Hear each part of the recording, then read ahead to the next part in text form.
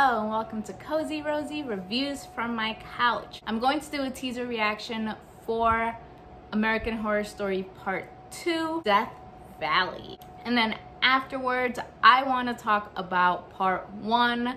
There will be spoilers. I'll let you know when we're about to talk spoilers. But here's my reaction to the teaser for Part 2.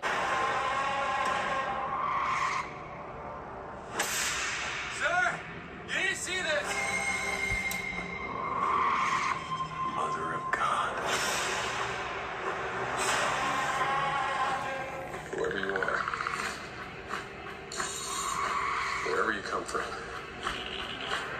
Stop what you're doing. I'm sure we can reach an understanding. And just listen to me. Mr. President, President, it is you who will listen to us.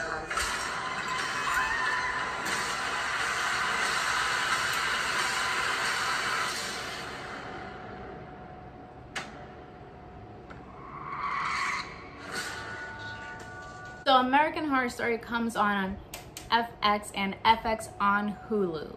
There are only four episodes left to this season, which is season 10. In the second half, we have some new faces. So Kaia Gerber joins the season. Neal McDonough, who is usually playing the bad guy in literally anything I've ever watched. So interesting, since he's supposed to be the president. And Cody Fern. So initial thoughts, looks really Twilight Zoney and Area 51 vibes. I'm thinking it's about aliens, not only because there were aliens on here, but you know, that's the vibe we're getting. So I'm interested. I wonder if they're going to tie the second part to the first part.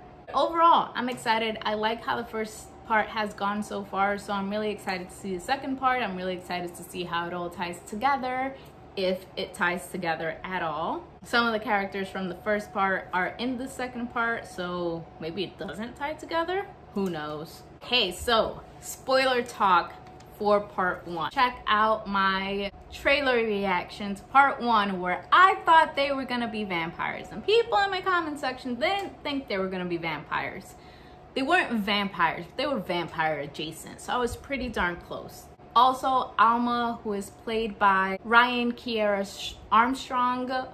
Wow. Amazing performance. Like, that little girl creeps me out. Based on her ambition, she killed both of her parents.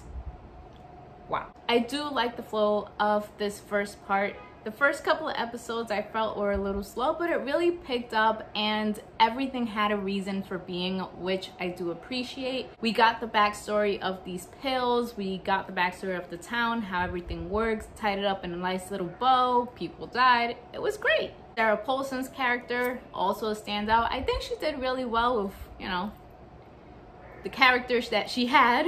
and also Macaulay Culkin's performance. This is his first time in an American Horror Story series, and I think he definitely delivered on the role. I am very excited to see him in upcoming seasons even.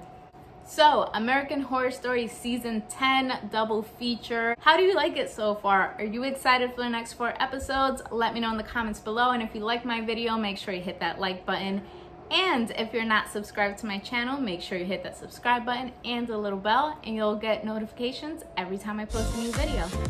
So until next time, friends.